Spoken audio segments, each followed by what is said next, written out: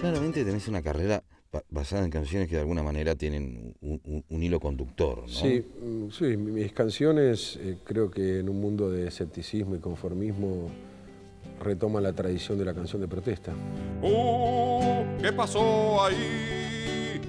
La justicia no estuvo, no pasó por allí. Uh, ¿qué pasó ahí? Que los pobres no pueden pensar ni decir.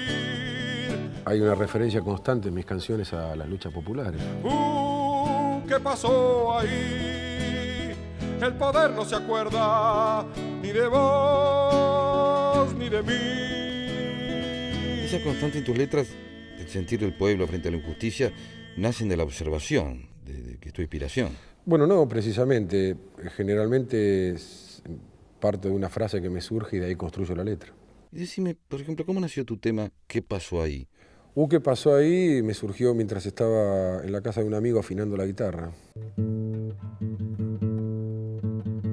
Uh, ¿qué pasó ahí? Uh, ¿qué pasó ahí? La justicia no estuvo, no pasó por allí. Eso es algo que surgió, que brotó y después eh, el resto vino solo. Pero no solamente en esos temas, eh, hay otros también.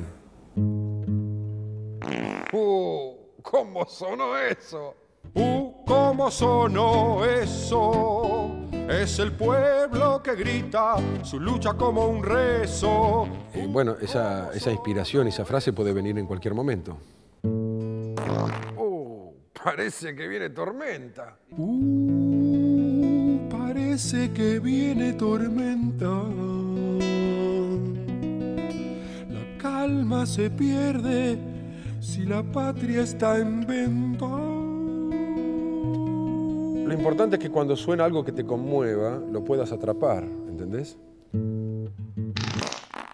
¡Uh! ¡Se abrió el portón! ¡Uy! Se abrió el portón. Se libera el obrero de su patrón.